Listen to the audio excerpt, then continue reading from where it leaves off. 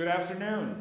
Uh, my name is Uwe Brandes. I'm the Executive Director of the uh, Master's Program in Urban and Regional Planning, and welcome to the sixth uh, of our speaker series this fall, the inaugural speaker, speaker series. Uh, today, uh, we move from Montgomery County to Northern Virginia. And uh, we're, we're greatly honored and pleased to have representatives from the Northern Virginia Regional Commission here. Um, Mark Gibb, who will join us uh, shortly, uh, is, uh, is in transit, and we're uh, delighted to have uh, his deputies, uh, both Steve Walls and Ken Billingsley, join us to, to commence the, the, the, the, the presentation.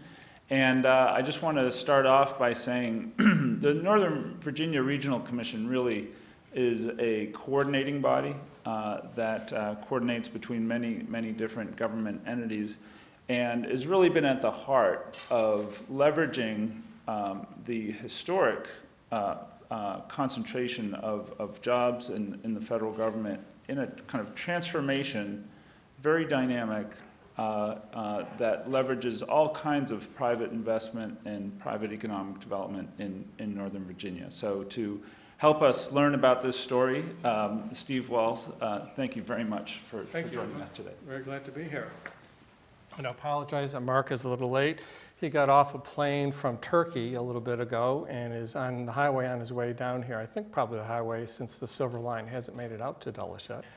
Um, and so he will be here though um, at least by the question and answer time, if not earlier. Um, and he has um, gone through, and these are the slides that we, that we worked with him on, so they're his slides. I hope that we can give a, um, a reasonable approximation of what he was going to say uh, to you here. Um, Uwe, thank you very much again for the invitation to be part of the series. It's a great series, the people that you have through. So Northern Virginia Regional Commission, as he mentioned, covers um, um, about um, three or four percent of the land area in Virginia and has about 40 percent of the population um, and about 40 percent of the economy. It's 14 cities, counties, and towns. It's got 2.6 million, 2.3 to 2.6, depending on how far out you measure, of the people in the, in the larger greater Washington metro area here. Um, our board is made up of local elected officials from the 14 counties, cities, and towns that make up our area. The small towns participate, but we don't build them, so that we don't count them as members. Um, and we're one of 21 regional commissions across the Commonwealth. Um, if you're from other states, um, they can be council of governments, they can be regional commissions. Some states don't have them. West Virginia, they're affiliated with the um, um Appalachian Regional Council, and they're, um, I forget what they're called, called up in West Virginia, so they have different names at different places. And we're similar to the Metropolitan Washington Council of Governments that covers the, the Virginia, Washington, D.C., and Maryland area. We work with them on a lot of projects, but we really try and focus in on the unique things that, of Northern Virginia. We're a Dillon rule state. Um, Maryland's a home rule state. DC is um, a congressional rule state. I'm not sure what you'd describe that as. Um, Dillon rule is really we only have the authority, localities only have the authority to do things directly um, authorized by our General Assembly or reasonably required to, to do under the, under the regular powers that they have. Unlike home rule that really generally, these are not black and white, but have the um, ability to do things unless the legislature tells them um, no. I think as we'll talk about, and as Uwe mentioned, we are really the um, economic driver of the area. And one of the things that we do as a group is try and work to help gain consensus. We, are really a safe place for people, to, the localities, to come and meet and deal with problems of greater than local significance, is I think the technical term in the Regional Cooperation Act in Virginia state law that sets us up. Um, so we're going to split this up into two different sections. First, Ken is going to come up now and talk a little bit about some of the demographic factors and economic factors that differentiate us from the rest of the region and really the rest of the country. Um, and then we'll talk, I'll come back up and talk a little bit about some of the types of things that we're doing um, to marshal these demographic trends that, that Ken is talking about. So Ken, uh, and it's Ken Billingsley. He's been with the commission for th over 30 years. 1978 since 1978. So he's seen a lot of, uh, uh, so, so, as you'll see some of the numbers in here, he's seen a lot of change and, um, and brings a really long tenure and history to, um, to this information. So thank you, Ken. Thank you. It's a pleasure to be here. I actually grew up in Pittsburgh in a little neighborhood that uh, never seemed to change. And then we moved here, and it's, it's been such a whirlwind. Uh, the total transformation of the suburbs and, uh, and, and uh, uh, that is ongoing today. And uh, it's been exciting. I have worked as, as the director of, of demographics and information services. And at one time, I was a research uh, director. So I've had a front seat view of just an extraordinary history. Uh, I start by emphasizing the point that a proximity to the nation's capital has transformed Northern Virginia and the entire uh, Washington metropolitan area into one of America's and the world's uh, most dynamic, fastest growing, economically advanced, uh, highly educated, prosperous, and culturally diverse regions on the planet. What is the legacy of living adjacent to the nation's capital, of being the beneficiary of more than a half century of federal government expansion and a sustained economic growth? Uh, one of the one is a history of a robust population growth. Among the most impressive in the United States are during the post-war era.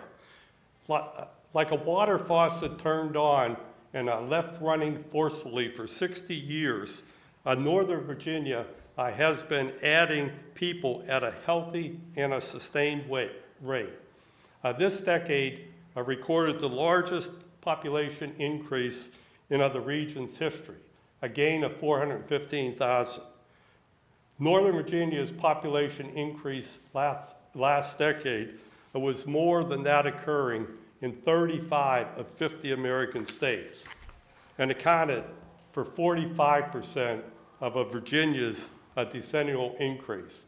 And uh, the elections that we're seeing, uh, the results in, in both the past two presidential elections, the recent governor's election, uh, they have been driven by Northern Virginia. The outcome is the result of uh, Northern Virginia. And uh, there's been sl no slowdown in our population growth to date. The latest census estimates uh, have the region adding 115,000 uh, during the first uh, two years of the new decade, a, number that exceeds the population growth figure of 39 states uh, during that period. If uh, Northern Virginia were a separate MSA, it would rank among the 25 largest in the United States in, in a population size. And uh, this is from a total of 366 metros. And among the top 15 in population growth uh, uh, since the 2000 census. A, second legacy of a living where we do, a, another defining demographic attribute is the role that immigration has played uh, over the past three decades. Northern Virginia has become one of the great immigrant gateways of the United States, a, a global talent magnet uh, that has been attracting people and talent uh, from all corners of the globe. 86% of the population growth in Northern Virginia over the past two decades has come from increases in its Asian, uh, Hispanic, and other uh, minority population groups. Today, 40% of the region's youth, 18 years of age and under, live in a home in which one or both parents are foreign born. In almost a third of Northern Virginia homes, English is not the primary language spoken. New York, America's quintessential immigrant city, had 41% foreign born when it reached an all-time high, an all-time peak in 1910. Immigrants now make up fully uh, a quarter of Northern Virginia's population. It's not of the same magnitude as a New York, or New York City a century ago, but for a post-World War II, a suburban region, it's an extraordinary journey. And no one or two countries uh, dominate the flow as they do in most other places. Only New York has an immigrant population as diverse as that found here. And the third demographic attribute I want to highlight and emphasize is an asset that perhaps more than any other is what sets the region apart. It's, it's its unparalleled uh, human capital.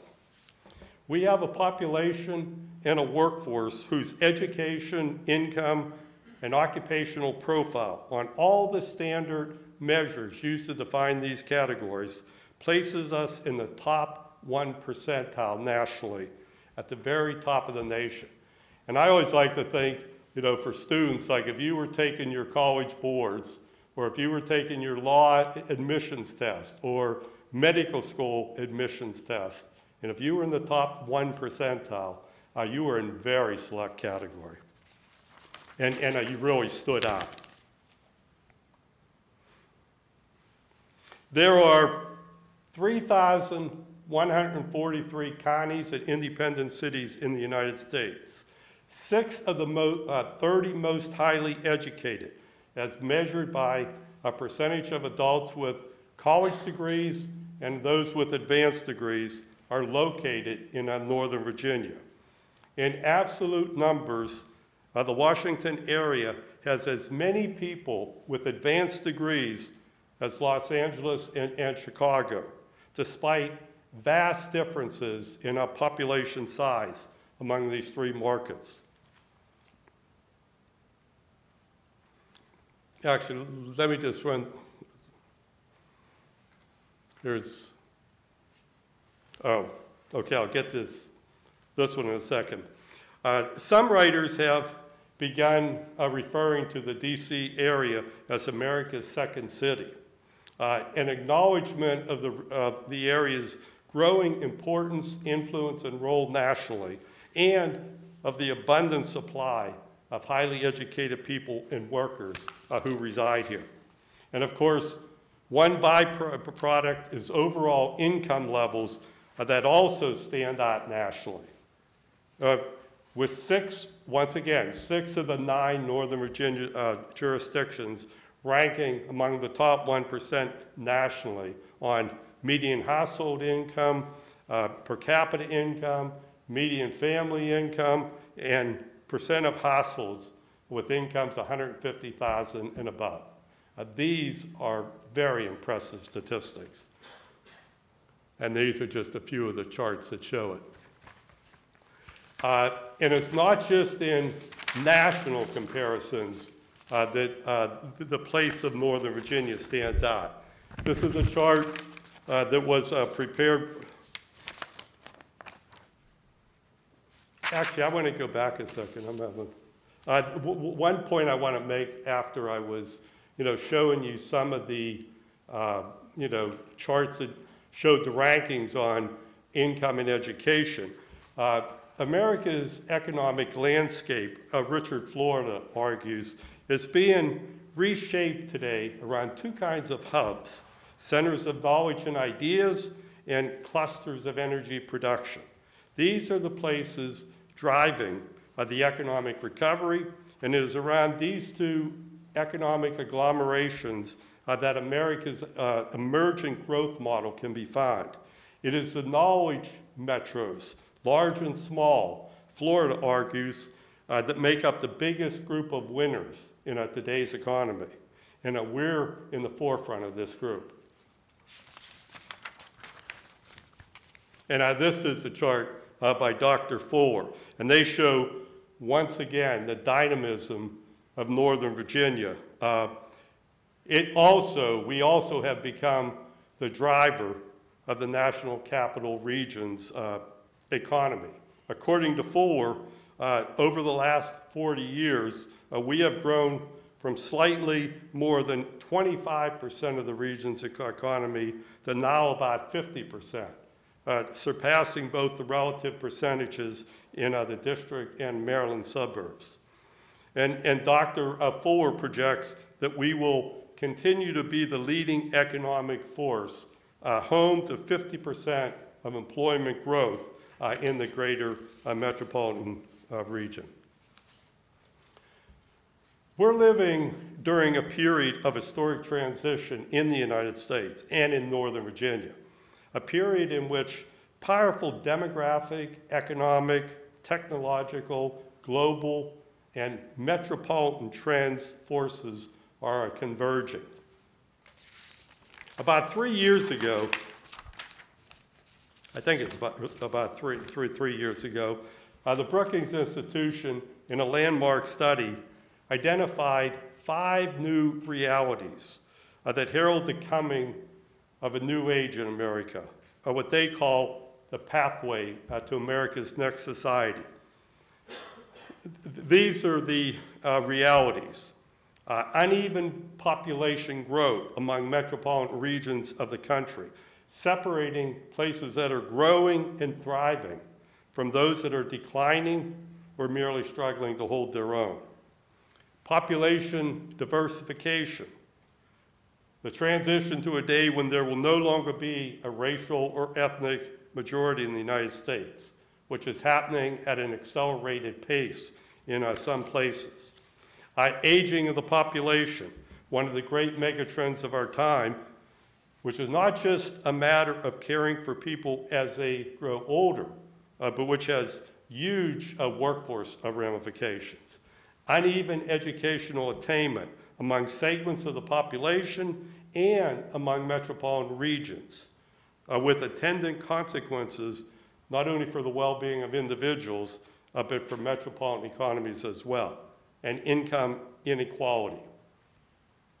Northern Virginia and the larger uh, Washington metropolitan area, of which it is a part, are on the leading edge of the economic and demographic upheaval taking place. The Brookings Institution labeled the DC metro area as a, uh, new frontier metro, one of a handful of metros across the United States that are thriving and are growing, and to whom, uh, by virtue of the concentration of human capital, the abundance of brains they possess, must show and lead uh, the way forward for the rest of the nation in dealing with all these uh, new realities. While Northern Virginia obviously has economic and uh, demographic assets uh, exceeding uh, those found in most uh, places, uh, we will need all the brain power we can muster and the cooperation of government, of the business community, and academic inst- uh, institutions in this region to tackle uh, the formidable array of challenges that exist today and will be confronting us in the years ahead. Uh, these are a list of them. I won't go through them, uh, only to mention you know, one or two. Uh, we, uh, as we all know, we have some of the most congested roadways, subways, and buses in the innate, in, in uh, the nation. Uh, affordable housing is making it more and more difficult uh, for young workers, uh, for our growing immigrant population, and many others to find housing. It's a great concern in finding the workforce that we will need in the future. Uh, the workforce issue, there's the potential in increasingly a great deal being written on the coming shortage of workers and skills in the workplace as uh, the massive exodus of baby boomers from the workplace uh, takes place.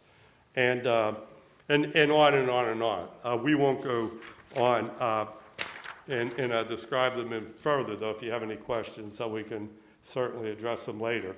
Now I'd like to turn it over to Steve, who's going to talk about some of the things that are going on to take advantage of both the assets we have and also to deal with some of the really challenging problems we have. Thanks, Ken. Um, That always amazes me when I see all those lists that were one, two, three, six, seven, eight, and things on those compared to the other areas around the country. Um, I spent, I didn't say anything about myself, really. I spent 31 years in Richmond, um, in the rest of Virginia, I guess is what some people call it. Um, got Northern Virginia and the rest of Virginia, although down in Richmond, they don't necessarily like that as much. But um, It the Old Dominion. The Old Dominion, yes, yes. Um, working for the state. And so coming up here and the d- dynamism that happens in Northern Virginia is just really, really something. Particularly, I was the I was last the um, agency head of the agency that regulates all the mining and mineral extraction. So we have our largest offices out 10 miles from the Kentucky state line, out in the mountains in Appalachia, working South Side and other places like that. Um, and it really is just an amazing place. And, it, and and the fact on how it drives the economy of the whole greater Washington metropolitan region is really something. Those slides from Dr. Fuller, they started to stop. The first one stops at 2009. And DC is turning back up. There's been a lot of growth and things here in DC that's starting there. But we've got such, such amount of momentum going in Northern Virginia. And um, as we'll talk about a couple of things, some of the things that are happening are really going to be driving it. And it will be, um, we'll be moving ahead very, very quickly. So I think some of those projections moving forward of the growth, I think will tend to be true. Projections, you know, the only thing that you can guarantee about a projection that it's going to be wrong. The only question is how right or wrong it's going to be. And so well, I think those are probably pretty close. Um, time will tell as we go ahead. So what do we do to try and um, manage this dynamism and move forward here? One of the things that we've done that has been fairly unique, um, and it, different than a lot of other places, is build these synergies with international areas. We realize that we're really competing with these areas, and so we need to think about what they're doing and how we can be as good as they are or better than they are. But we also can learn from them and they can learn from us. And so while it's some competition, we've really tried to build a good relationship. We've had more than a 10 year, probably about a 14 year relationship with the regional commission in, this, in Stuttgart, Germany. And looking at that, we went through a real process to, to look at who are somewhat similar to us in size and growth rates and other things in education levels. And that matched up very well. Um, we've also, um, in, in more recent years, as everybody else has, reached out to Asia. Um, South Korea is just one of these places that is just, again, th- that has really grown. In 1970, South Korea had a smaller GDP than North Korea. And look at it today. It's the sixth largest economy in the world. When you think about things like that, you know, you, you hear about China all the time, but there's other things out there that are just amazing like this. Um, so we have found that we can, um, and really in many cases have implemented these best practices that we've picked up from around the world. Um, and so we, um, we feel like that um, um, we've been able to, to move forward quite well with that, with that area.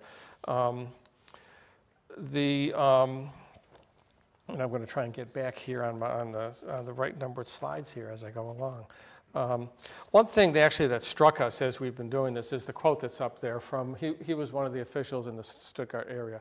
We think about, well, what can we learn from some place like China, from South Korea, from Germany, from France, from England, from the Netherlands, um, from Finland. We just had a group of transportation officials here from Finland through. And it was amazing how exactly the same things we're dealing with are the same problems they're dealing with. Now, their governmental systems are going to differ a little bit from ours, but it's really the same problems and really many of the same things, same solutions are being developed. We're working on infrastructure banks, public-private partnerships. With the military, there's something now that's called the public-public partnership that is out there that if you look at what the Army is doing, they're pushing that hard. The Navy's done a little bit of that. Um, they're looking at doing the same types of things, um, and so this type of, of, um, of joint work um, with these international partners has been very important.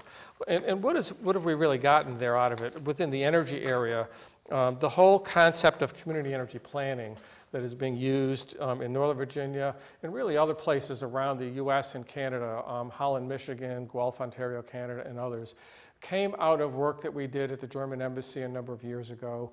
Um, we were fortunate enough to have these connections that we were one of the, one of the founding um, groups for the transatlantic climate bridge between Germany and the United States. And so um, we're, we're really blessed with when, the, when a lot of these folks come over to Washington, we're right on the doorstep again, as Ken talked about. So they're going to come out and talk with us, um, ranging from the environment minister for the EU, Connie Hedegaard, who was out here last year, and just other people like that all the time are coming through, particularly on the energy things. Um, in Arlington County, they have taken that and run with it. They now have a community energy plan as a chapter of their comprehensive plan. They adopted it earlier this year. And so just like they have open space plans and they have just a plethora of plans, really, they now have energy plan as part of that. Um, you know, things like green roofs are something that um, a lot of the folks, um, the officials from this area, when they f- f- 10, 15 years ago started going over to Europe and started seeing some of those, and then realized these are the types of things that we need to be able to ready, be ready to foster here. And so they got their planning departments and their in their building um, plan approval folks to understand what these were. And while Chicago may have passed it for a while, the DC area had, and this is kind of little known, DC area had a higher percentage of green roofs than any place in the country because again, they were leading and they, they made it possible for these things to happen. Uh, district energy systems is something that has been, they were used in the US in a lot of the northeastern cities. New York City still has an old aging steam system that people are continuing trying to work on upgrading. Got a call just uh, yesterday actually from somebody who's working on some of those systems. Um, um, But we really went away from district energy systems. And so a lot of folks from our region have gone back and looked at places like that little, the box there in the middle of the screen is a district heating and system and um, power generation system in Schönhauser Park outside of Stuttgart. Um, Runs 24 hours a day. It's low enough um, pressure, they don't have to have it staffed 24 hours a day. Um, and so these types of things are moving ahead. Um, in, in Arlington, they are now have done an integrated energy master plan for the Crystal City area. And so they, as that is going to be rebuilt, as they're digging up the streets for the trolleys and the BRT that are going to be going up there, they'll be putting the pipes in the ground to be able to do these types of district energy systems. There'll be a big cooling loop and some, and some heating loops and things. Looking at um, transportation, you know, little things like the signs everybody now sees at the metro that says the next train is so many minutes. That happened because of some of these officials were traveling in Germany and Stuttgart and in Berlin, and they saw those signs and they said, wow, you know, it's like, why don't we have that? So they happened to be also on EMWA's board, and so they came back, and a couple, you know, a year or so later, we had them started to be put into the system here. So it's these little things that really can, this inter, these international uh, things are brought out some of the traffic calming types of things, just like use of traffic circles. Um, other parts of the country use them, but they kind of saw modern uses of, tra- of traffic circles. Um, so now things like the, um, the um, Hunter Mills Road traffic calming circle project in Fairfax County kind of came directly out of these experiences that they're doing. Um, the whole idea of the trolleys that are going to be, I guess, online in DC pretty soon, and they're, you know, it seems like every city is trying, a big city is trying to bu- build some trolleys now. But the acceptance here came through people seeing them on our travels. In the environmental area, um, a lot of open space types of planning and, and tools have come over. Um, the Stuttgart area has done a really interesting thing with their climate atlas of the whole area, and they look at use of open space for many, many different things. Um, and so we looked at some of those tools. The one to the right is Emscher Park through the Ruhr Valley in Germany. This is the old steel and coal mining area. Um, and besides having some trails and things, they've knitted all the open space together. Those really inform the work that we've done to build the series of conservation corridors that cross the county and city lines. And so we can think about these landforms more broadly across the region and have the, the local plans knit together to be able to um, have these types of connectivity points um, across our area. Uh, we had a, um, a professional planner from the Netherlands with us for about six or seven months, looking at the Room for the River program in the Netherlands. And shortly after she left, um, she got out before Superstorm Stan- Sandy. Um, but quite a few of those folks have come back and have been working up through the Northeast with, um, uh, uh, with the responses to Superstorm Sandy. So big things like that. And little things just like the type of use of swales for water control, stormwater control, and things all came out of these types of things. Airports are something we're looking at now. Dulles Airport um, and National Airport and BWI together have about 60 million passengers a year or so, and it's about 22 in Dulles, 21 in, um, in National, and they move around a little bit, and, and then the rest in, um, um, in BWI. But we look at the types of development that are occurring around the airports, and now with the Silver Line coming out to, to um, Dulles, we've got this opportunity. So we really need to learn from that. And this is one of the latest areas that I'll talk a little bit about. This idea of this international outreach is really also very important for the economy. The foreign direct investment, now, now these are Virginia state numbers, but with for, being 40% of the economy of, the- of the state, a lot of this is in Northern Virginia. But you just look at the type of investment from companies from these areas. Over this four-year period, there was $1.3 billion invested in Virginia from Germany, about a billion dollars from Japan and these other countries. I think it's interesting, but it also tells us that I don't see places like the Central American communities or Kore- South Korea, et cetera, that we have a lot of people living in our region from. And so this also shows us where we have some of the opportunities to be able to reach out and do some more. Um, but it's really interesting to think about the, the effect that it has on our economy. And again, with the population coming from all over the, all over the world, it is, it, it is really quite something. Um, I mentioned the airports also, um, and I think it's really interesting now that we're finally getting the Silver Line out there. Um, I think some, a lot of people don't realize in 1960s, when they, in the early 60s, when they built, began to build the highway out there, and this picture shows when they were adding the toll lanes in. I can't remember, I guess that was maybe early 70s or so when they were doing that. They left the median in there in the 1960s for the train. So they envisioned the Silver Line in the 1960s. And it's only taken us 50 years to get there, but better late than never.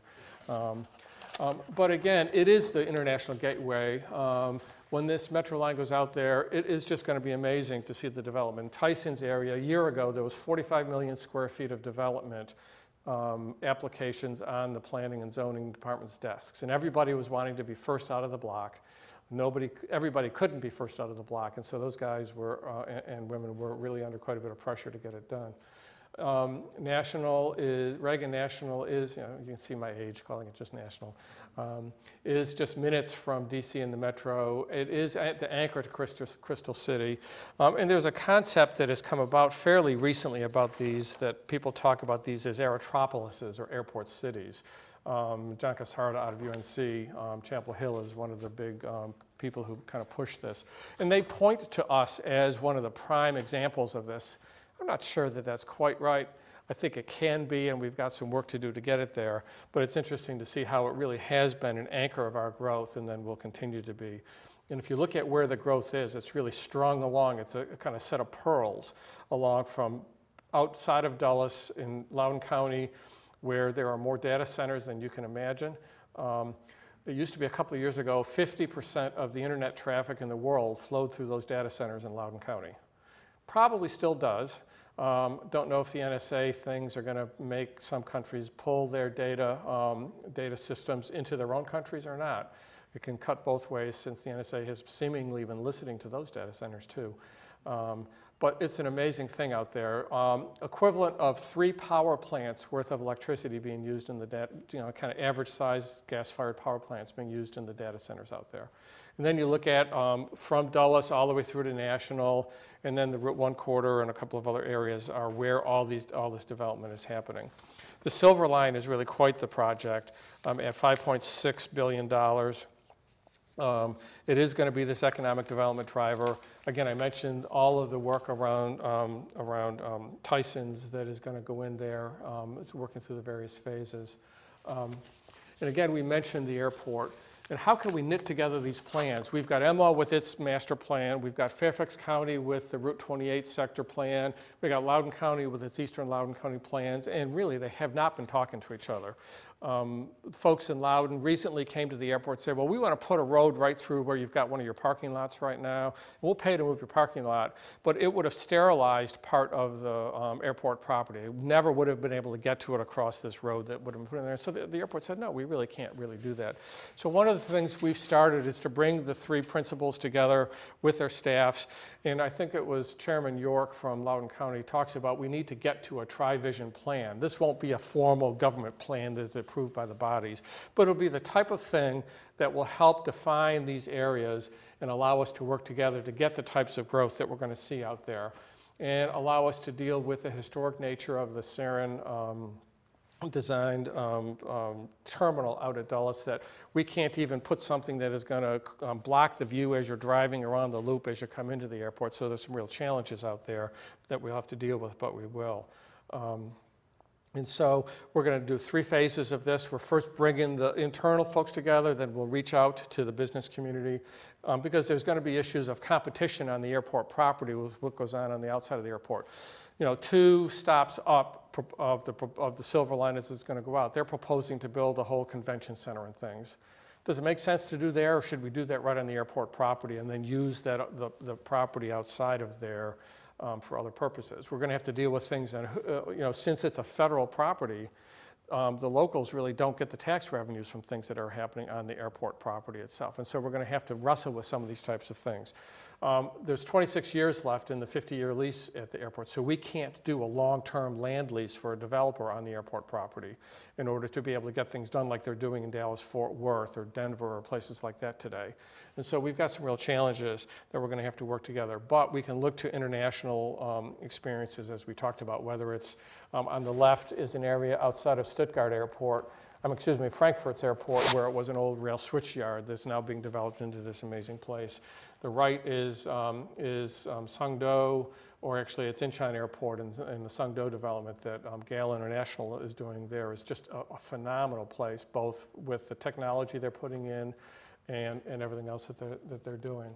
Um, and the other thing that we're going to need to struggle with, and actually I'd love to reach out to the folks here at Georgetown in the planning program for, is getting the types of metrics and quantitative performance benchmarks that we're going to need to really understand that we're doing things right. And they're going to have to cover all the main areas that we normal, normally cover. And we can get soft things about quality of life and all, but really to measure things is when things change is when they're measured, when you can provide that. So we'd love to try and work with you over the time and have some, and have some work going on about what are the best metrics that really do measure this over time. Um, Well, also, in talking about kind of synergies between space, we need to think about other types of transportation too. And so a couple of other things we're working on, we just released um, a market assessment as to whether we can now use the Potomac River as a- as a system of transportation. We think that there's right now six routes that have potential. If we can deal with funding the land side, docks and parking or something that may be needed, we think in a two-year period or so that those sites will be self-supporting and will not need subsidy, which is rare for a form of transit. Again, it'll need some subsidy for the land side things. One of the keys is, is if we can get some east-west things going and maybe get into Fort Belvoir, get into Quantico, so people from Maryland don't have to drive up, go across the Wilson Bridge, and then drive all the way back down. I think it's 40% of the traffic heading north on I-95 in the morning is related to the military, to the Pentagon, to Quantico, to Fort Myer, other things like that. It's a phenomenal amount of traffic that if we can try and deal with that, we can begin to deal with, or better deal with some of these transportation uh, challenges we have. We also, uh, and, and we just did finally get it, or not finally, but we just did get it um, designated as a marine, under the Marine Highway Program, so we'll be able to get, hopefully get some federal dollars. It's a little hard in the budget. New technology, new tools are coming along. A lot of us, you know, we've moved from the car to the smartphone as a form of transportation, I think is what some people like to say. So we've got these real-time ride sharing, we've got the apps. Um, um, one interesting thing that we've done to deal with the issues again of the military, we've set up a, a, a real-time ride sharing program just for the military so they can get on the bases, they can deal with the security issues and all of that. And, and it's really just a ride matching service on a smartphone. The other thing that used to happen is everybody used to come north, but now with things moved around after the last BRAC base realignment and closure process, things are moving north and south. You've got Mark Center, so you've got people moving around in a lot of different patterns, and technology can help us deal with those. And so we need to think about that as we go along and use these tools. So that gives us a sense a little bit about what we've been doing, about our region. Um, I hope that has given you some sense at least, and um, the dynamism of it. And, and I think um, Mark hasn't made it, so we can't turn all the questions over to him. But I think we can take some, we'd be glad to take questions and have a little bit of a discussion about, about the region and, and, and how it relates to what you're studying. And That's phenomenal. That's- Any questions? Yeah, go ahead. Um, I was just curious at the end there, the Potomac River Ferry system, uh, what kind of, I guess, endpoints, start points, uh, would that be right there? Yeah. We're talking about going from southeast DC to National Airport and southwest DC to National Airport. Um, the same two points down to Old Town Alexandria. Um, one, and there's some talk as to whether or not that could be able to make it up to uh, Georgetown also. Um, and so Georgetown is, you know, a bit isolated, except for maybe the, um, the what's the bus that kind of run the, the, um, the circulator, yeah. Um, And then the other ones that are looking at, again, are dealing with the east-west, getting across the river. Those are the ones that, getting river crossings and not so much as much up and down the river are the key ones. And so, for example, from Alexandria to, um, Air, um, to um, um, Andrews Air Force Base, um, um, uh, um, a joint base, um, Andrews, I guess, on the other side of the river, again, to keep people from making this big loop. Um, and then the, um, so the two from the airport, two from um, Old Town, and then uh, a couple that are coming up the river and kind of getting across the Potomac to the Maryland side are, are where they are right now. Again, we think though that if we can deal with security, some really short, just east-west routes. For example, if you were just across the river from Belvoir, you could set up a secure access point on the Maryland side. You could put some parking over there because there's no transit over in that part of Maryland, and be able to move people over. And there's now more people working on Fort Belvoir than in the Pentagon with the changes there, plus the hospital down there. So one third of the hospital that was up in Maryland, um, uh, um, I forget now, the one that they closed up there. One, pardon? Walter Reed, yeah. One third of that moved down to Fort Belvoir, and two thirds of that moved over to the alternate location in Maryland. So there's a whole new hospital that wasn't there. So not only, and, and that's where they're doing a lot of the long-term rehabilitation of soldiers and sailors and airmen and things. Um, and so people are there for quite a long while. Their families are in the area, coming in there every day to see them, or a lot of them are off-site and coming there every day for their for the therapy that they're getting.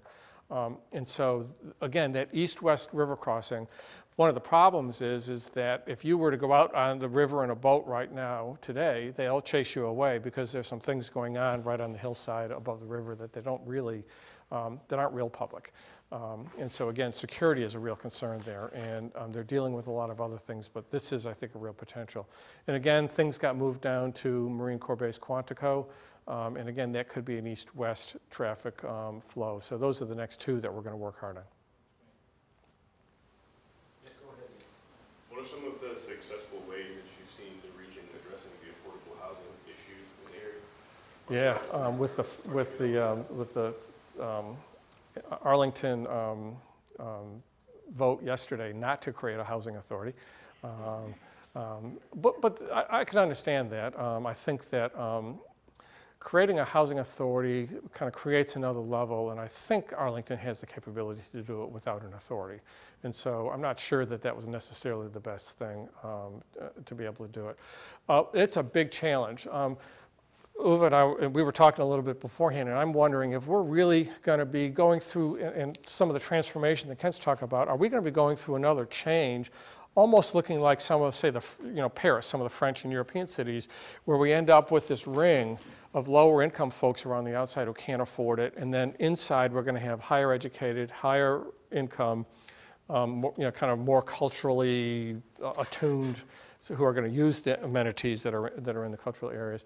I'm not sure that we maybe aren't heading that direction some, and it's going to be a real challenge. Um, I lived, go ahead. A little more complicated, but the thing is, uh, one of the things we saw last decade was uh, a a- a demographic inversion that was contrary to any pattern that uh, historically had uh, defined settlement patterns in the suburbs. Uh, The settlement had always been, uh, first it had been moving outward and uh, so forth, and uh, the uh, people with higher incomes uh, were moving outward, uh, and and especially places like uh, Lyme County, for example. And then, last decade, we suddenly see, and some of it was driven by the overheated housing market, but we saw um, a massive movement of people with lower incomes, pre- pre- predominantly immigrant and, and uh, groups like that. And, uh, and it happened so rapidly. I actually had the experience of somewhere around 2000, I, I was given a talk to all the county managers, all the county executives, and I uh, said that if current trends continue, we could see the outer suburbs being the first uh, localities in northern Virginia to become a majority minority. And the county executive from uh, Prince William jumped all over it. And he said, how can you say this? This is outrageous. This is not going to happen. That's exactly what happened. And in 15 years' time, some of the outer suburbs, like for, for example, of Prince William, Manassas, Manassas Park, their school systems went from 70, uh, well, I I mean, the terminology, I don't like the terminology minority, majority and all that. Uh, and uh, that's going to be changing and uh, stuff like that. Uh, but uh, they went from 30% minority to 70% in 15 years' time.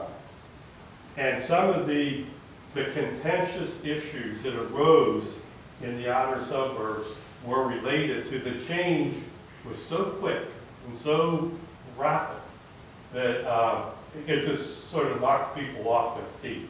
And uh, so it, and, uh, but, but, but now we're seeing as the new decade starts, uh, we're seeing a very significant reconfiguration of the suburbs. In fact, books are being written the end of the suburbs because uh, they're becoming much more complex, diverse. The whole structure is undergoing change.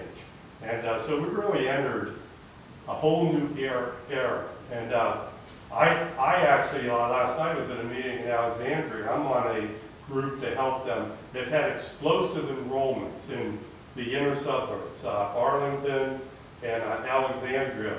They began uh, from 2000 to 2005, their enrollments were declining, pu- public school enrollments. And suddenly then, they have seen enrollment increases last seen uh, during the baby boom years. They haven't seen these increases, and suddenly the schools are bursting at the seams, and they're saying, what's going on?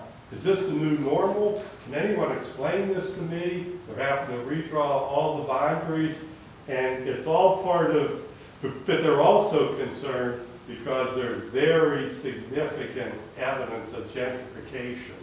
And, uh, uh, like especially Arlington has been very dramatic. Less so in Alexandria because the composition of their households or, or housing, or their housing unit, uh, uh, mix is very different. But it's, uh, it, there are a lot of people scratching their heads and saying, when's this turmoil, you know, gonna settle down so we know what the heck's going on?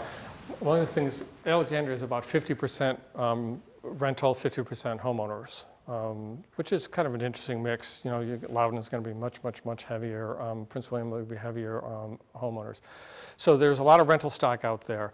Um, a lot of the growth now across the region is being pushed towards the mixed use, kind of medium high rise types of centers. And those are going to be relatively high income types of places.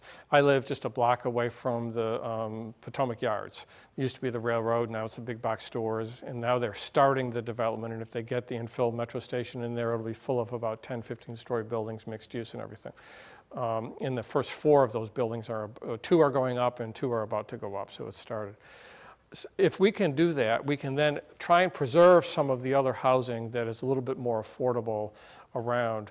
It's not going to be the ones that are walkable to the metros. You may have to take a two or a three seat ride to get to where you're going, which I think is a really interesting type of thing that we got to deal with. How many seats do you have to get on to use transit and how long is it going to take you? Um, but, um, you know, DC here, what the, their, their goal is to have 70% of the trips to be not in a single family passenger car. Um, when we now compare the inner suburbs, Arlington and Alexandria and DC together, to what we see in Europe, we have as high a non-single family um, car commute uh, use rate as cities like Stuttgart, Germany. So we actually are doing much better there than, than a lot of times we give ourselves credit for. Um, you know, just things like the capital bike share and what it's done to people uh, because we've, in- we've improved the infrastructure so much in Northern Virginia, parts of Northern Virginia at least, um, in, in, in the district, parts of, of Maryland. Um, but it's growing. For example, the new um, parking structure they're putting out at the, um, at the Reston uh, Metro stop has got a physical bike storage room, um, part of the parking structure. Um, And so they're building these types of things. They're, they're developing the plans right now to, as they're redoing Tyson's, to be able to build bicycles into, into that, um, what will be an edge city urban infrastructure of 100,000 people and 300,000 workers in the next, say, 20 years or so. Um, So all of that's going on. If we can, but if we can keep that there, and if we can do some things to be able to provide the type of support, you know, Section 8 housing, if you, if it's still called that, is an important thing, and we need to, so there's a lot, it's going to be driven by national types of trends also, and what happens um, here in Washington and elsewhere, down in Richmond. Um, But there's no good answer to that right now.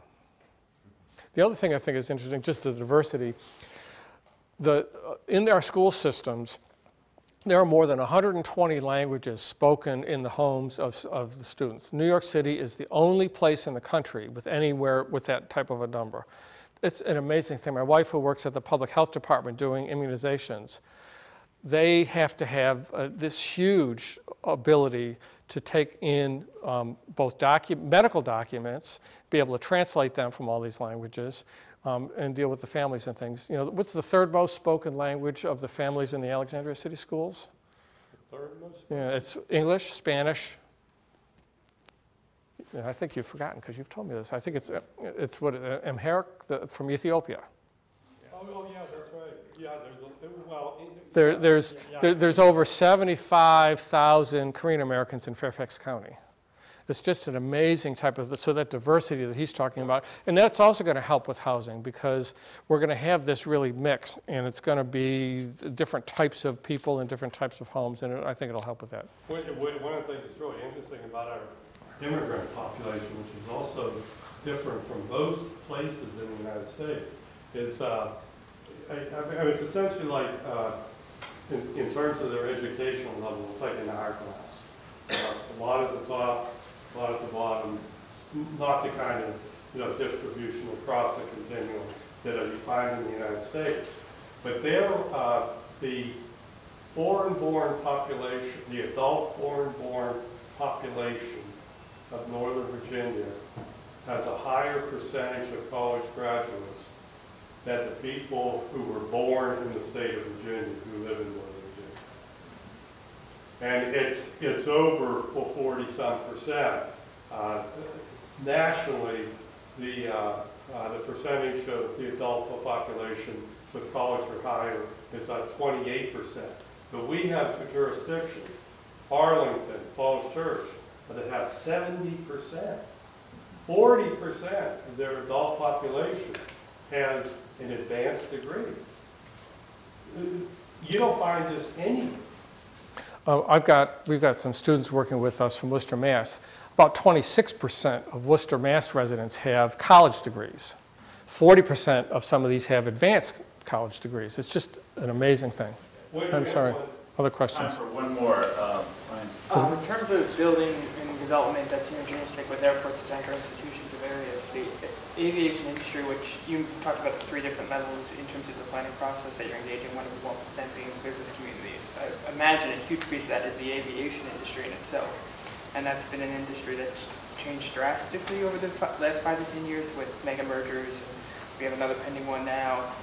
US Airways, after their last merger, relocated out of Crystal City out to Arizona. Has there been any evolve, what's kind of been the change for development around Dulles and US Airways, and uh, Reagan National in light of kind of the aviation industry changes? Reagan National hasn't had a whole lot really that has been driven off of that. The changes in, in Crystal City has been when the military moved everybody out into force-protected areas, into the Mark Center, into um, Belvoir, into Quantico and elsewhere.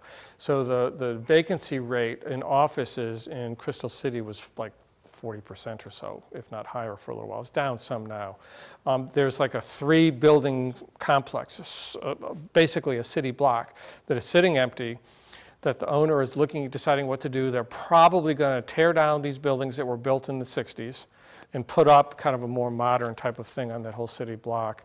Um, they've just finished renovating, renovating two full buildings that are completely emptied out in that area. So that's what's driving it there, and not as much the airlines.